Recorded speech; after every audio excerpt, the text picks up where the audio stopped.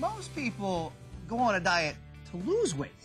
That is true, but there's now a new diet for women who actually want their bellies to grow. It's actually really sweet. Here's Dana Devin to explain it all. Julia Roberts became a mom in her mid 30s. I've loved every second of it. 38 year old Jennifer Lopez is having her first this spring, and Halle Berry is going to start bringing up her baby at age 41. This is the happiest time in my entire life. A lot of women during maybe their most fertile years are postponing getting pregnant. Nutritionist Haley Pomeroy sees many of Hollywood's biggest celebs here at her East West Conception Center. If women aren't pregnant by 25, they really need to be sure that they're doing some sort of a program that helps support their fertility. And in her new book, Craving Conception, Haley says eating right can help prepare the body to get pregnant. We kind of like to look at it as anti-aging for your eggs. Haley says lots of protein is key to prepping that body to have a baby. So things like walnuts, Brazil nuts, cashews, um, pumpkin seeds. And don't forget your veggies. The dark leafy greens are fabulous for fertility. So is whole milk.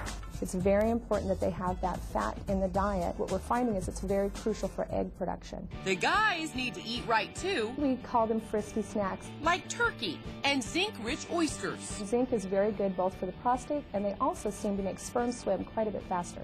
New food for thought as Hollywood stars transition from career to conception.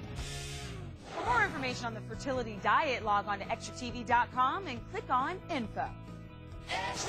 Next.